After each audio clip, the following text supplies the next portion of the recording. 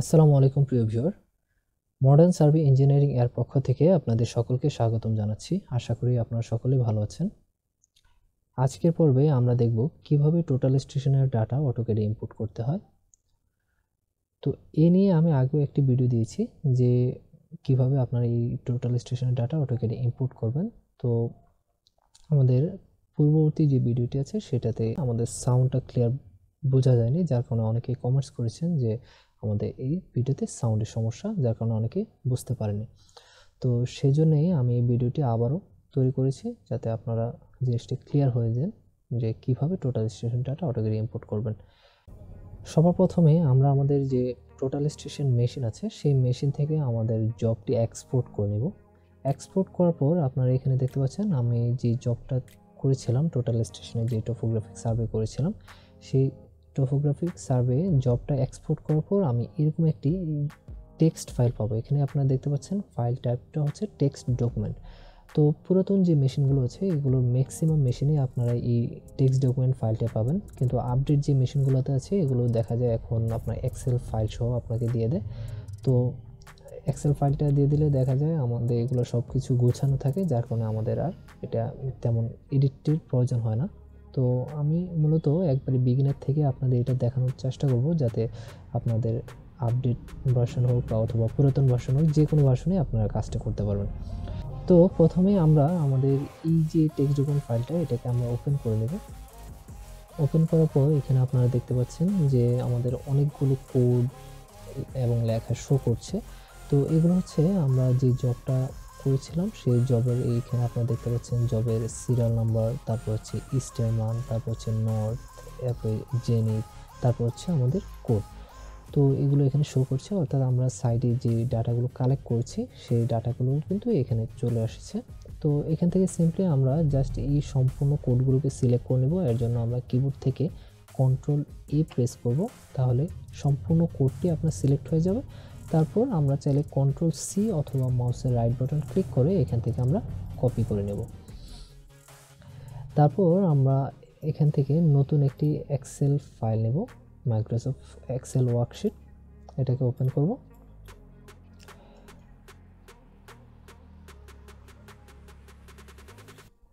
তো ওপেন করার পর আমরা এখানে জাস্ট আমাদের যে কোডগুলো কপি করেছিলাম, সেই কোডগুলোকে আমরা এখানে পেস্ট করে দেবো। তো এখানে আমি দেখতে পাচ্ছেন, এখানে রাইট বাটন ক্লিক করে আমরা এখান থেকে এই যে পেস্ট এই অপশনে ক্লিক করলেও এটা চলে আসবে।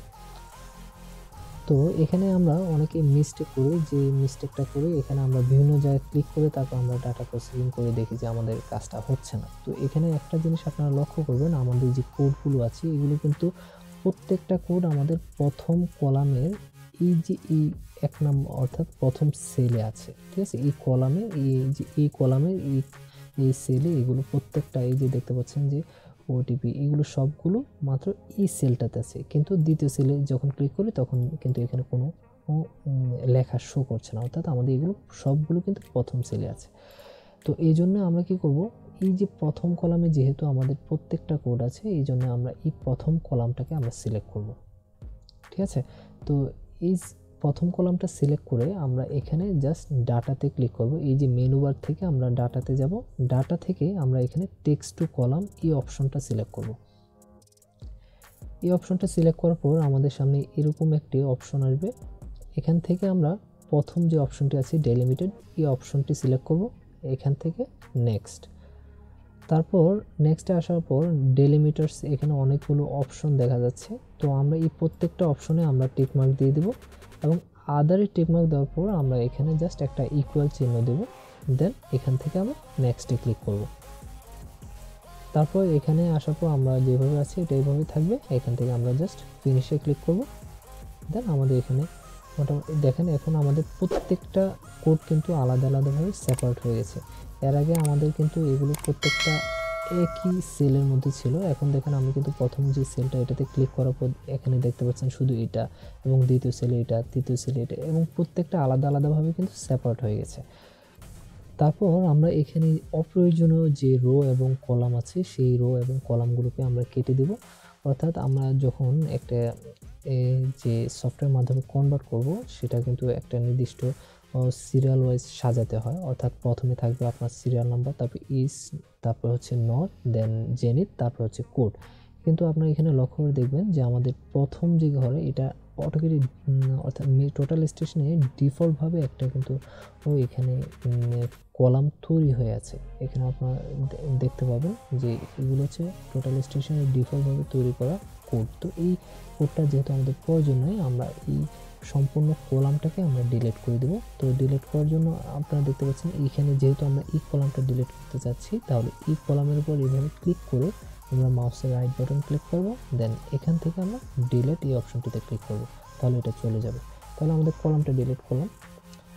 এখন আমরা এখানে যে অপ্রয়োজনীয় যে রোগুলো আছে, আপনাদের আগে বলে দিচ্ছি, এটা হচ্ছে আমাদের কলাম আর এইগুলো হচ্ছে আমাদের রো এখন অপ্রয়োজনীয় রো কোনগুলো? অপ্রয়োজনীয় রো হচ্ছে ওইগুলো যেগুলোর মধ্যে আপনার কোনো কোড নেই।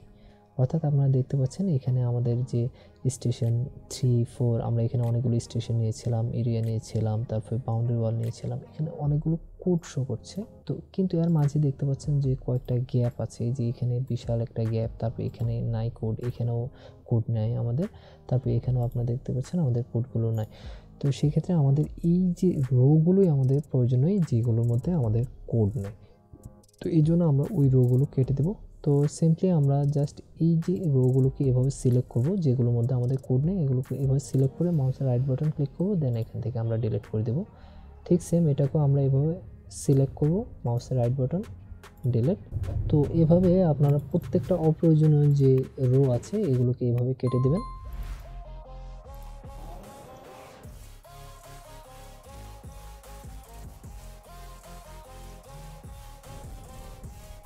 তো এখানে আমাদের অপ্রয়োজনীয় যে রোগুলো আছে, এগুলো আমাদের ডিলিট করা কমপ্লিট হয়ে গেছে। তো এখন আমরা সবগুলোকে সিলেক্ট করে এটাকে সেন্টার করে নিই। তো এটা সেন্টার না গেলে হবে, সমস্যা নেই। আমরা জাস্ট এই জিনিসটা সৌন্দর্যের জন্য আমরা সেন্টার করে নিলাম। তারপর এখানে আমরা যদি লক্ষ্য করি, আমাদের যে সিরিয়াল নাম্বারটা এক, তিন, চার, অর্থাৎ আমাদের কিন্তু এটা সিরিয়াল ওয়াইজ নাই, কিন্তু আমাদের যেমন একের পর দুই, তিন, চার এভাবে থাকে। তো এখানে আমরা যদি সিরিয়াল মেনটেন করতে হয়, তাহলে আমাদের এক্সেলে একটা শর্টকাট আমরা জানি প্রথম এবং দুই, এই দুইটাকে সিলেক্ট করে, এটা যদি তিন থাকে, আমরা দুই লিখে এক এবং দুই, এই দুইটাকে সিলেক্ট করে কার্সরটাকে আমরা এই যে কর্নারে নেওয়ার পর দেখবেন যে আমাদের প্লাস আইকনটা চেঞ্জ হয়ে যাবে। তো যখন চেঞ্জ হয়ে যাবে, তখন আমরা জাস্ট এটাতে ডবল ক্লিক করব, তাহলে এটা কিন্তু সম্পূর্ণ একটা সিরিয়ালে মেনটেন করে চলে আসবে। ঠিক আছে? তারপর আমরা যে কোডগুলো আছে, অর্থাৎ ইস নট জেনিত আমরা কিন্তু যে কোডগুলো কিন্তু দশমিকের পর আমরা তিন ঘর চাচ্ছি না দুই ঘর চাচ্ছি, তো সেক্ষেত্রে আমরা কিন্তু এটা এখান থেকে সিলেক্ট করতে পারব। তো আমরা বেসিকলি মানে ইকুয়েসির ক্ষেত্রে আমরা দশমিকের পর কিন্তু তিন ঘর ইউজ করি। তো এখানে আপনারা দেখতে পাচ্ছেন কোনো জায়গায় দশমিকের পর কোনো কিছু নেই, অর্থাৎ দশমিকের পরে কোনো মান নেই, তারপর হচ্ছে কোনো জায়গায় দুই ঘর আছে, কোনো জায়গায় তিন ঘর আছে। তো এটা সেম করার জন্য আমরা কী করব?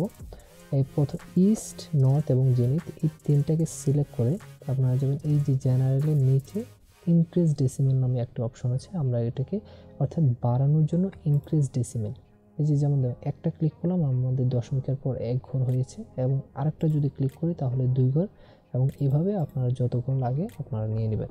তো আমাদের এখানে তিন ঘর প্রয়োজন, আমাদের এখানে চার ঘর হয়ে গেছে। তো আমরা কমানোর জন্য এর পাশে আরেকটা আইকন দেখতে পাচ্ছেন ডিক্রিজ ডেসিমেল তো আমরা ডিক্রিজে যদি ক্লিক করি তাহলে একটা কমে যাবে। তো ইনক্রিজ করে আমরা একটা করে বাড়াবো আর ডিক্রিজ করে আমরা একটা করে কমাবো। তো আপনারা যদি তিনটা রাখতে চান, চারটা রাখতে চান, তো এভাবে কম বেশি করে নেবেন। তো আমাদের এক্সেলে আমাদের ডাটাটা সাজানো কমপ্লিট হয়েছে। এবার আমরা আমাদের যে অটোকেট সফটওয়্যারটি সেই সফটওয়্যারটিকে আমরা ওপেন করে নেব।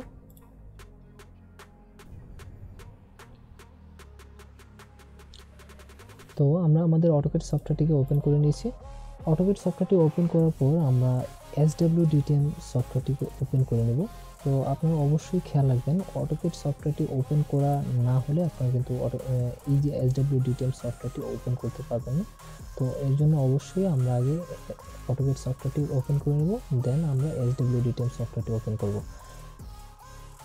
তারপর আমরা চলে যাব যে আমাদের এক্সেল শিটে আছে সে এক্সেল শিটে আমরা চলে যাব। এখান থেকে আমরা যে এক্সেল ফাইলটি আমরা সাজিয়েছি, সেই কোডগুলো আমরা সম্পূর্ণ সিলেক্ট করে নেব। তো এখান থেকে আমরা আমাদের যে সম্পূর্ণ কোডগুলো সিলেক্ট করে নিয়েছি, আপনার কোডের বাইরে কিন্তু কোনো কিছু সিলেক্ট করা যাবে না। অর্থাৎ আমাদের কিন্তু এইভাবে এই কোনো কিছু সিলেক্ট করা যাবে না। অনলি কোড যতটুকু আছে আমাদের এতটুকু সিলেক্ট করতে হবে। এর বাইরে কোনো কিছু সিলেক্ট করা যাবে না। ঠিক আছে? তো এখানে আমি অনলি কোড যতটুকু আছে অতটুকু সিলেক্ট করে দেন আমরা চলে যাব এস ডাব্লিউ ডিটেম যে সফটওয়্যারটি আছে, সেই সফটওয়্যারটি প্রথম যে অপশনটি আছে পয়েন্টস আমরা এই পয়েন্টসে ক্লিক করব। পয়েন্টসে ক্লিক করার পর এখানে আপনারা সেকেন্ড যে অপশনটি দেখতে পাচ্ছেন ইম্পোর্ট পয়েন্টস ফ্রম এক্সেল আমরা এই অপশনটিতে ক্লিক করব দেন এখান থেকে আমরা ইম্পোর্ট পয়েন্টসে ক্লিক করব। তাহলে এখন আমরা অটোমেটে যদি আমরা যাই, তাহলে এখানে আমাদের কিন্তু অটোমেটিক যে কোডগুলো চলে এসেছে কিন্তু আমাদের এখানে শো করছে না যে এটা আসছে কিনা। তো এর জন্য আমরা কি করব? আমরা কিবোর্ড থেকে জেড এন্টার ই এন্টার লিখে দেখব। তাহলে দেখব যে আমাদের যে কোডগুলো আছে, এটা চলে আসছে।